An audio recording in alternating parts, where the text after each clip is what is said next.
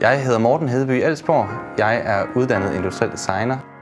Jeg har en baggrund som øh, maskinsnedker.